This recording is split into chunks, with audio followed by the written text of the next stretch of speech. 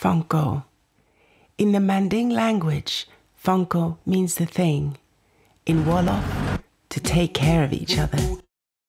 The great musical revolution of today takes place in Africa, where urban club music is merging with traditional styles. New technology and swift communications has released the super talents of the continent, spreading music, arts, and ideas to the rest of the world. In episodes, we will take you from Dakar in the west to Accra, Lagos, and Luanda to Johannesburg in the south to meet the most prominent and eloquent musicians on the continent. Fonko.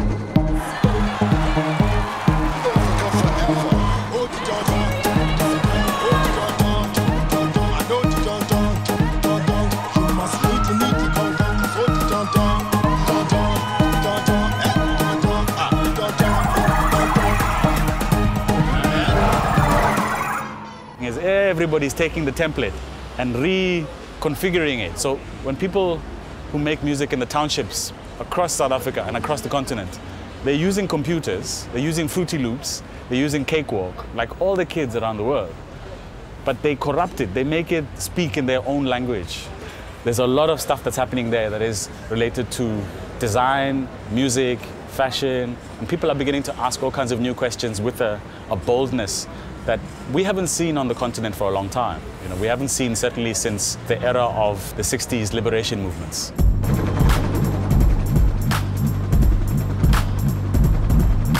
South Africa is an exceptional case.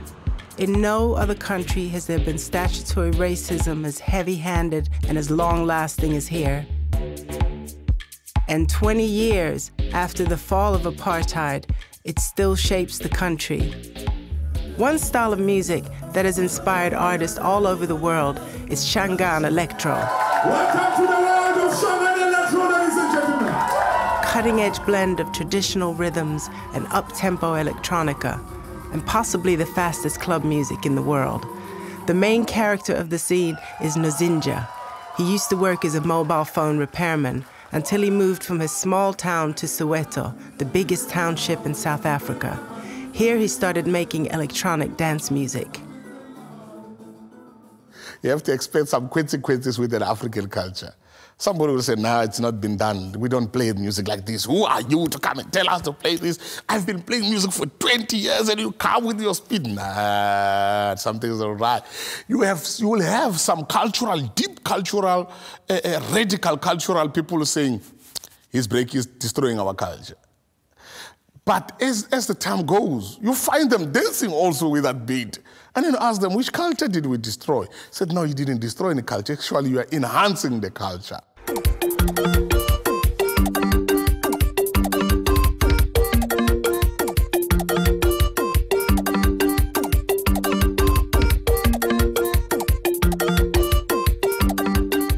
Now, this is Shangaan Electro. Shangaan Electro is drums the Shangani drums. Because if you play Shangani music, if you don't have two, two, two, two, two, two, which is the toms, then that's not Shangani. Now, we've got drums, you've got the toms, then you've got your melody. Don't forget to have your marimba. Without marimba, you've got nothing. Then you make them match and compete with the speed and arrange them very gradually and carefully then you've got your Shangaan Electro.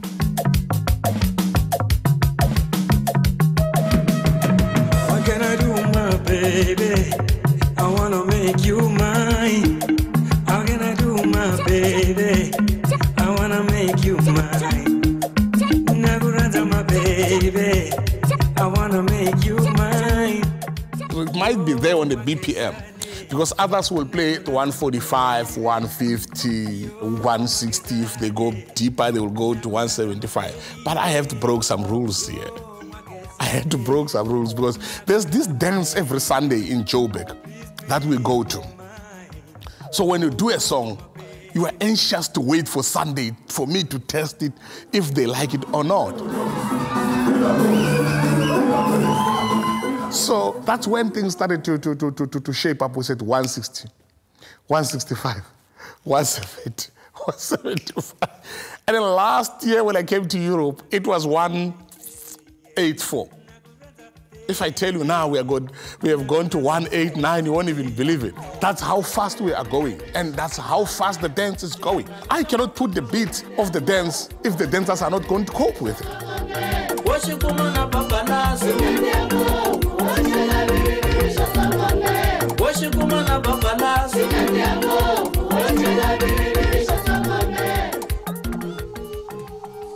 When you land at Cape Town International Airport, the first thing that you see is the beauty of Table Mountain. But you've got to drive through squatter camps and shanty towns before you can even get close to that mountain. Just in that five kilometer drive, you see everything that is wrong with South Africa. That there's democracy and there's freedom, but there's still a sea of squalor and poverty. And to say to them you have democracy is not enough because they don't see it. And this is where the situation becomes very, very difficult.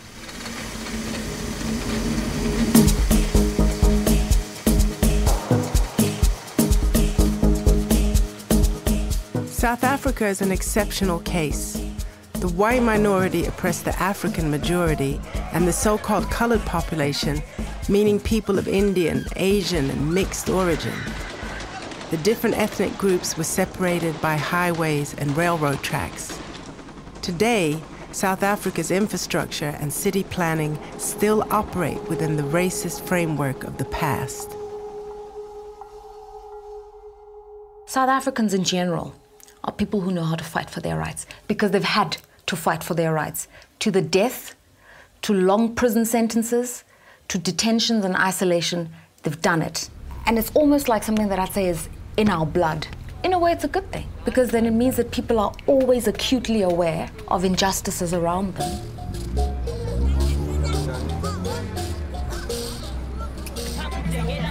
okay ke because ndihamba nabantu siyashuta man yabona so and, and, and, there's a there's a also a bit of a segregation going on between the the blacks and the coloreds based on the locations that they are, they are in you know the only time that you would see colored people in a, in a black area is when they may be looking out for scrap, you know, because we have a lot of scrap factories and, and sell it and get it melted at a good price. And the only time that you would see black people coming to colored areas, it's maybe when they go through to work. So it's not like there's kind of like a relation, you know, there's no, there's not that much connect, connection between the colored area areas and, and the black, black, black townships. That is the man who the world has been waiting to see in nearly three decades walking strongly into freedom. After the fall of apartheid, South Africa's music and culture blossomed. For the first time in decades, black South African musicians were able to express themselves freely. One of the most significant outcomes was the birth of the musical genre Kwaito, which became the first cultural expression of the new South Africa.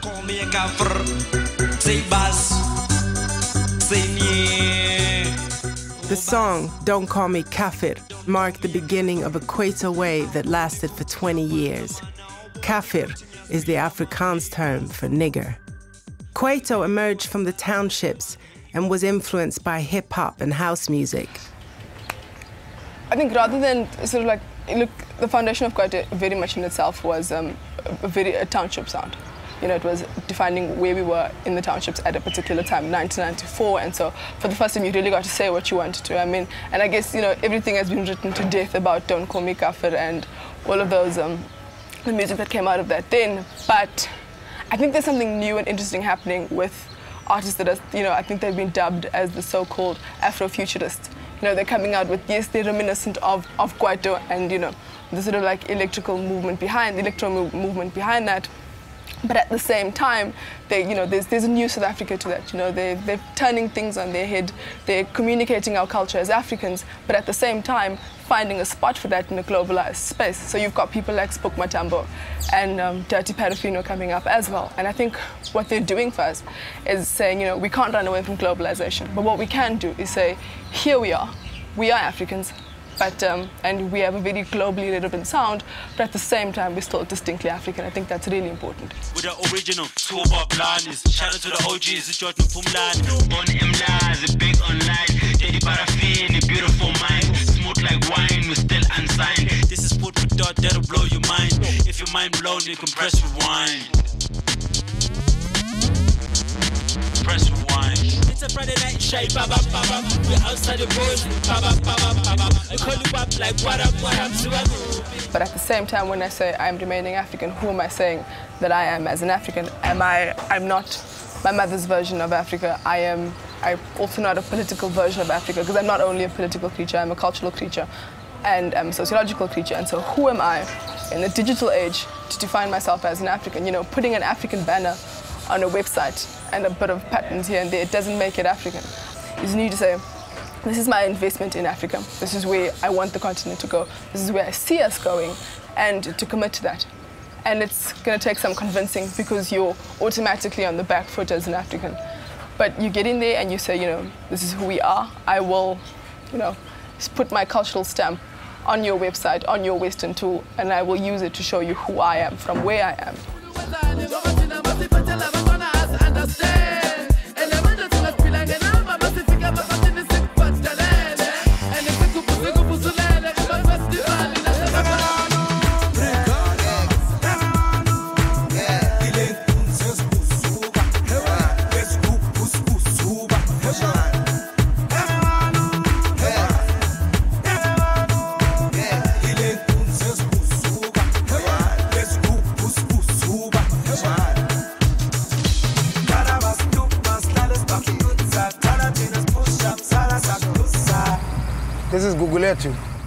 Yeah, like we were, Guguletu is in section, section one, section two, section three. We are in section three right now. You know, this side is section three. I'm living in section one, and then there's a section two.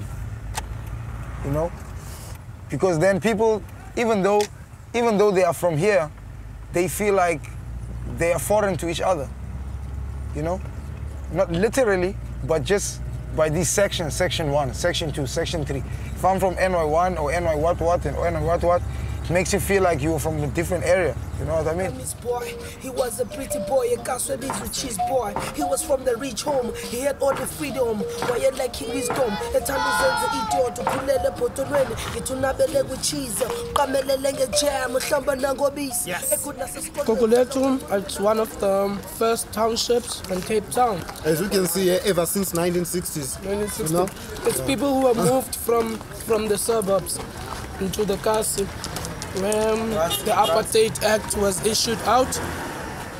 If I'm gonna be rapping about money and, and chicks and stuff, I'll be lying to myself because one thing that I know, black man is not happy out there. And you, know, you know. You might see from. Long Street, you might see something, but how many Xaxa squares, how many Guguletu, how many Shandy towns do we have, you know? So you might see a few South Africans rolling, you'll be like, ah, South Africa, new democracy, yeah, blacks are running things, driving flashy cars, you know? But like if I take you now, just just five five minutes around the corner, or I put you in my shoes just for, for one hour, you'll take them out.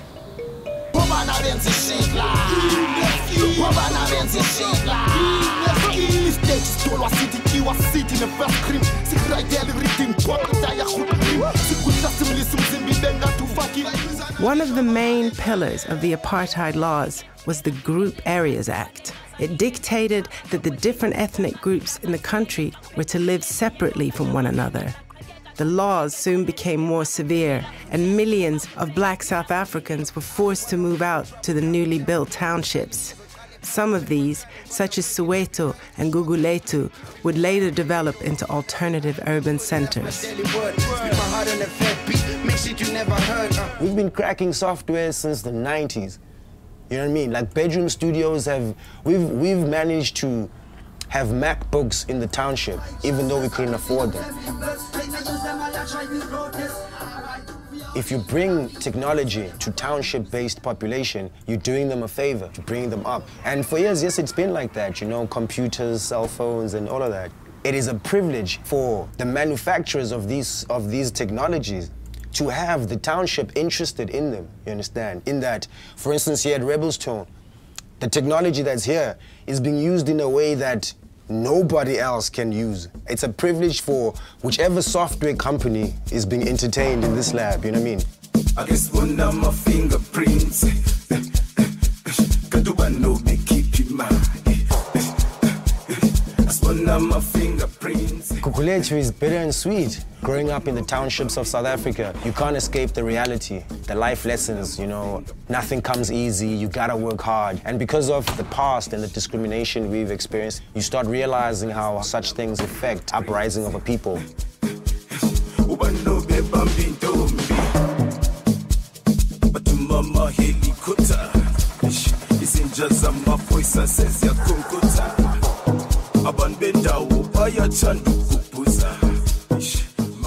From colonization to a system of apartheid, which is institutionalized, legalized racism, to democracy and a constitutional state that is predicated on racial equality and freedom of expression. But you've got to first undo so many years of a destructive history. You've got to heal so many wounds. There's been a major reconciliation effort. And the irony of it all is all of this is happening as the economy of this country thrives and grows. And effectively, South Africa is the wealthiest country on the African continent, but still divided in so many ways. And whereas people have focused so much on the political project, the economic project, wasn't given a lot of attention, and that's become the new area of contestation and tension.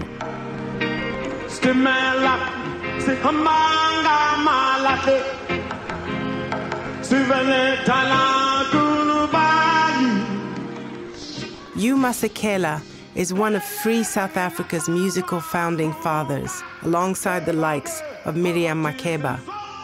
In 1960, he was forced to go into exile but after the end of apartheid, he returned home. One of the things that people don't realize is that in South Africa, we were at war for 350 years, from 1652 when the first Dutch settlers came. There was wars, and there was also like internal wars, but there were wars against the occupiers of the country too. See, South Africa, like many countries, nothing is done without music. It's one thing that is, is not oppressible as music. The ordinary people went into the streets and made South Africa ungovernable for apartheid. Those were the people. Those are the real heroes for me. When, when South Africa became ungovernable, it wasn't good for business. You understand? It wasn't good for business because there was no profit. There were more profits to be made if Africa, if South Africans, you know, didn't make waves. So that was what was negotiated, and that was negotiated. So South Africa today, uh, there's no oppression. The, the oppressed people are still exploited, and they still work for cheap labor, and they haven't gotten anything from this except the vote most people trying to get rid of their stress by drinking a lot. We're gonna pass another, this is NY6. We're gonna pass here and you will see the amount of cars and fancy cars you, you, you, you will see and amount of people that are there and the amount of liquor that they are drinking. It's insane. It is literally insane. You know? Hello? Look at these fancy cars, guys.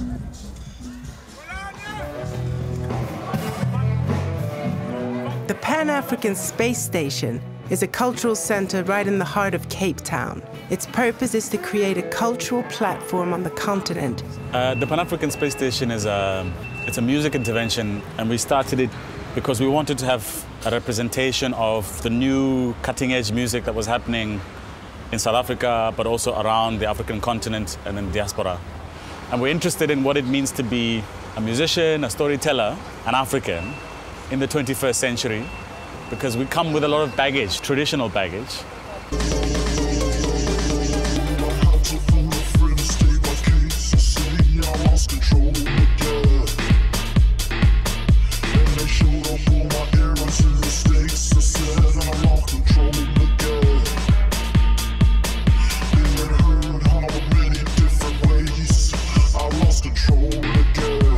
There's a definite movement right now that it doesn't sound like the movement of the 40s and the 50s, but it, the aesthetic, the kind of self-perception and the self-regard is very similar in terms of the, the, the etiquette.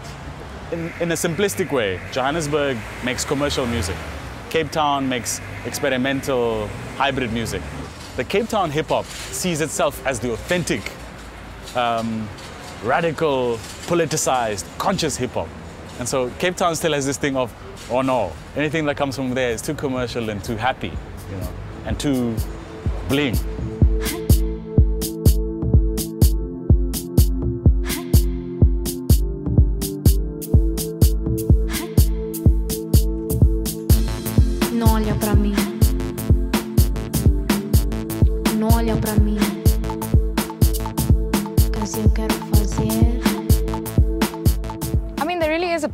For example, Taka Monique and Invitation to Dance, I'm singing about women empowerment. But because I have this thing about my eyes and I look all sexual, they forget the message. They, they're not, they don't know what the message is. And I'm talking about women empowerment. I'm saying that if I want to look good, it doesn't mean you must touch me. You know, I'm, I'm saying that I feel like looking like this today. It does not have anything to do with you. It Doesn't mean I need to give you my number. It doesn't mean I need, you need you to call me or touch my booty when I walk around. Like, it's, I'm trying to talk about that. I'm trying to enforce that. But because in the video I look too, you know, sexual, it's like taking the message that way. South Africa as a whole, my generation don't speak like me. They are into cars, money, drugs, and alcohol. They want to get to the top fast. They don't care how they get there. They're more interested in flashy clothes and being who they're not. I support a C too. That's like how. YFM is a station for young people. Uh, I mean, you guys saw some of the clips. Like, we do a very, very silly show. Uh, we're allowed to get away with pretty much everything over here, you know? Like, I say the word nigga on air and nobody calls me up about it, you know? Kind of start off as a pirate radio station, but it's legit, you know? Like, we've got a broadcast license and everything. And so, I mean, we've got massive studios now, like our own, our own building and all that stuff. So, when you speak about the hip hop scene in South Africa, it's probably not that huge. It's- in fact, I'd say it's still in its infancy stages, you know? But having said that, a lot of guys are making a living off hip hop, which is good, you know? Um, urban music as a whole has been existing for way longer than hip hop in SA. Like, for instance, we had this genre that is pretty much South African. You couldn't find it anywhere else, and it's called Kwaito. And uh, it came about pretty much after 1994, um, when the country like was liberated, you know? Uh, the young Africans or South Africans decided to make their own genre of music that purely represented what we were about uh, in the townships and everywhere else. Clip. And as I look Every Thursday evening in Johannesburg, young rappers line up outside the studio YFM to seize the opportunity to be heard on the air.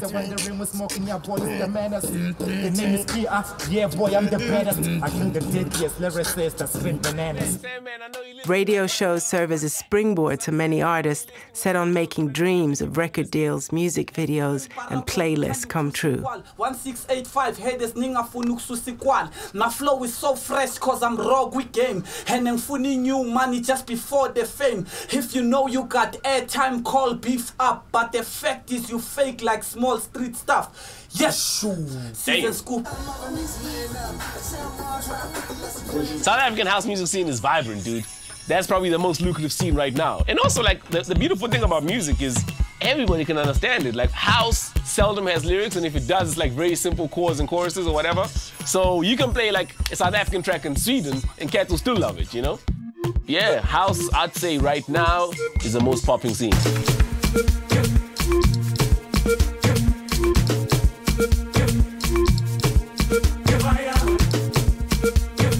One of SA's new generation is the young DJ duo, Black Motion. They exemplify the SA house phenomenon, blending traditional African sounds with modern house music. This is where Black Motion finalize their project. As you can see, it, it is raw. Like this is my place, like my backyard place. Yeah, yeah. And then I I sleep here, and then I work here. Whatever we do here, we, we imagine doing on stage. Yeah. So Like it's just usually- whatever the elements we put in, we put it in standing so we know like that. Okay, bassline. I'm laying down the bassline. Yeah. We put all elements of Africa in one one song, which is all the forgotten elements of, of African music.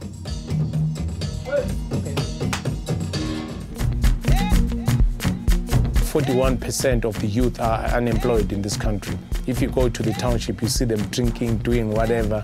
So we're trying to, to say, listen, DJing is an art, production is an art, it's a business. These are the tools, this is what can make you big. There, go start your own thing. And then he's grown his company.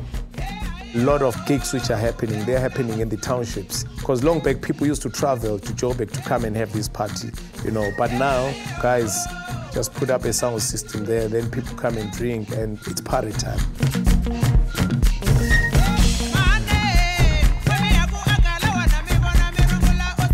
South African house DJs are touring the world and sell out stadiums, and none is bigger than Black Coffee.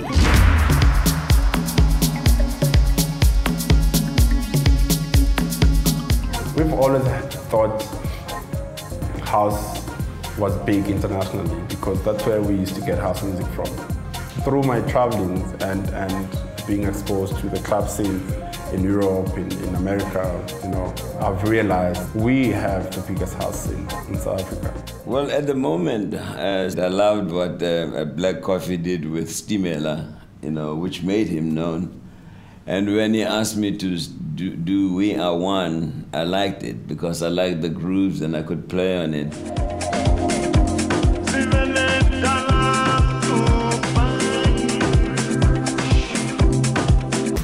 Feel I'm, I'm a reflection of a hard-working South African man. When I was young, I had a car accident and I lost the usage of my left arm. And I feel every day my job is to show anyone who has doubts that it's possible. Sometimes I get to gigs and on my way home when I'm driving in a very fancy car, you know, I'm thinking, wow,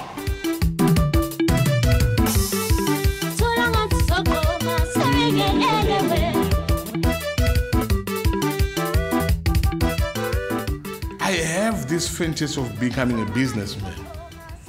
And yes, it is true, I am a businessman. and I think I had an idea to say, when I started with the music, I knew where I was going. That I want to go international. And somebody says, That's a dream, my brother. There's nobody in Shangaan have ever gone internationally. I said, There is first thing for everyone. I am going to be the exemplary. Baby? I wanna make you mine. How can I do, my baby? I wanna make you mine. Yep. So, like I say, this area